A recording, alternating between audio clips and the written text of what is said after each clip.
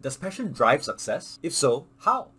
And if it does drive success at all, isn't that just a natural trait in any individual? In fact, there are two pathways that enable success through passion, and also one that might be highly detrimental for you if you don't know how to manage it. If you're new to the channel, please click the subscribe button so that we can get more information like this out to more people. It will go a long way in helping me in my mission to create more enlightened individuals. So let's deep dive right in. In 2003, Vallerand et al. discovered that passion can be broken into two types. The first one, harmonious passion. The second one, obsessive passion. In the meta-research done by Curran et al. in 2015, they found that there were four areas in interpersonal research that relate to passion, namely well or ill-being, motivational factors, cognitive outcomes, and behavior and performance.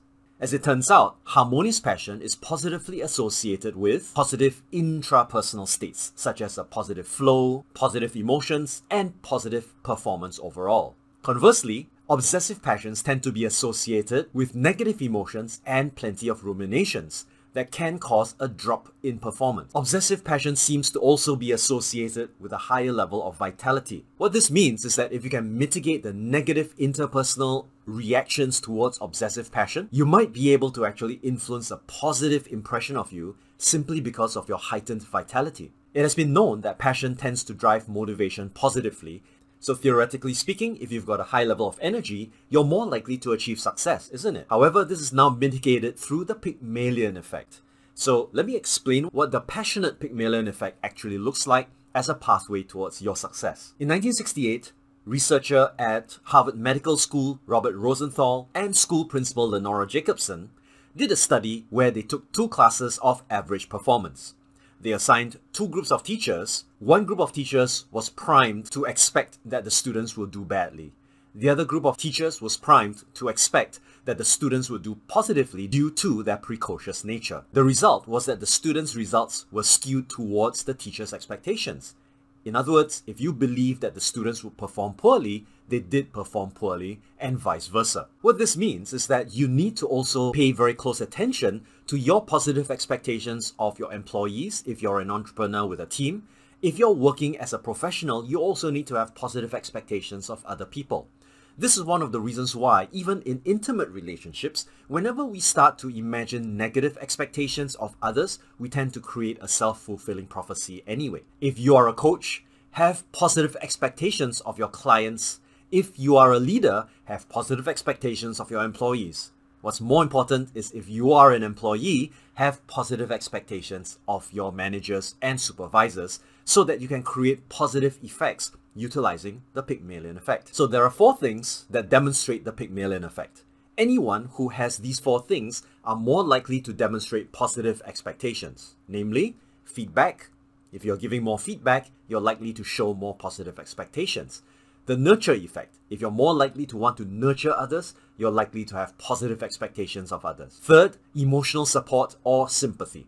If you demonstrate a higher level of warmth and sympathy towards the individual, it's more likely that you have positive expectations of that person. And finally, attribution. If you attribute good performance towards the person's character and the person's competency, you're likely to have positive expectations. And if the performance isn't as good as expected, you're likely to attribute conditions outside of the person's control as a result of your positive expectation. Let's take a look at this diagram. In Wang et al., October 2022, in the Journal of Experimental Social Psychology, researchers from Harvard found that there were two pathways to success, leading to four key outcomes. Number one, relationship with your supervisor. Number two, job satisfaction. Number three, the willingness to invest in work. And number four, burnout. Self-rated passion was positively associated with the first three and negatively associated with the last one at a significant level.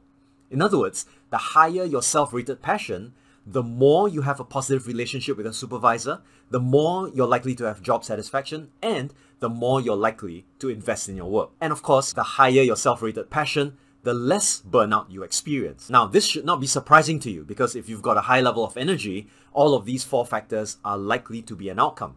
But what was an interesting mitigating factor that skewed everything even more closely towards a person with high self-rated passion was the fact that there is a higher likelihood that if I accomplish an outcome, that I'll get positive feedback from others. This factor, known as the positive feedback factor, skewed everything towards a virtuous cycle. In other words, if I perform well and you give me positive feedback, I'm also likely to increase the relationship with my supervisor, increase the positive relationship with my supervisor. It's also likely to increase my job satisfaction, willingness to invest in my work, and also reduce my burnout, possibly due to the support from my supervisor. So this highlights something very interesting, which is the interpersonal effect due to the Pygmalion effect. Now this interpersonal effect can be interpreted in a variety of ways. We all know, for example, from neuropsychology studies, that familiarity is created as a result of mirror neurons going off. If I notice your high level of energy, it's likely to impact me positively and therefore I will view you positively. What this means is that whenever I have a positive level of passion, I can actually influence others interpersonally to have a positive regard for me.